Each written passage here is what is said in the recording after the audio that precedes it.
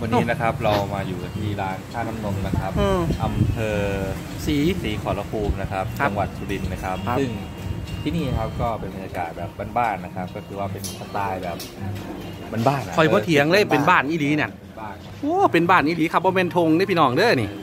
เป็นบ้านบ้านๆอีหลีเนาะ เขาจะเด่นเรื่องอาหารนมอาหารอ๋อนมเนี่ยต่างๆนมจังสิบ่ แม่อ๋อ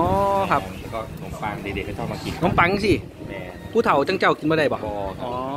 รัอบกินต้องกินเนื้อครับ เจ้าต้องกินเนื้อ ปกติไม่เคยไม่ได้กินครับปกติ อ๋อ กินได้ซีนบ่ปกติสูบอย่างเดียวเอ้ยนี่ละปลาคือมันจะแซ่บแต่นี่มาเลยเบิ่งเบิ่งเบานะบอกว่าอร่อยปลาเบิ่งเพิ่นปาด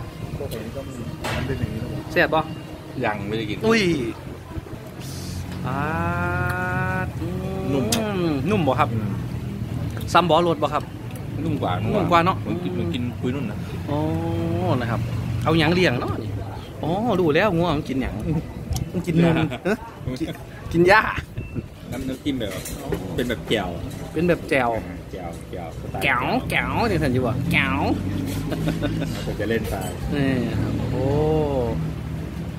ร้านนี้มีฮอตสเต็กเนาะอ๋อเขาอร่อยอร่อย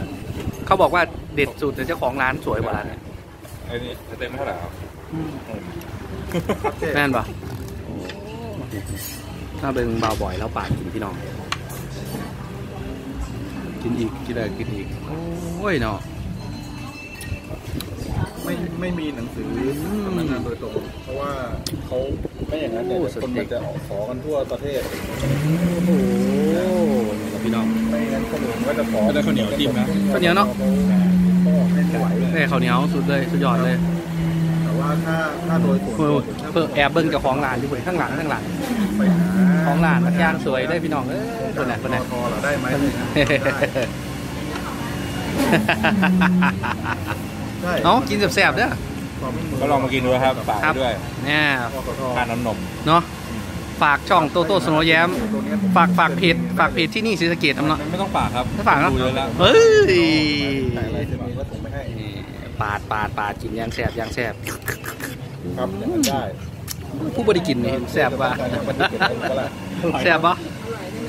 ว้ายแสบแสบแสบเอาฝากไว้สำนีแหละพี่น้องเอ้ยค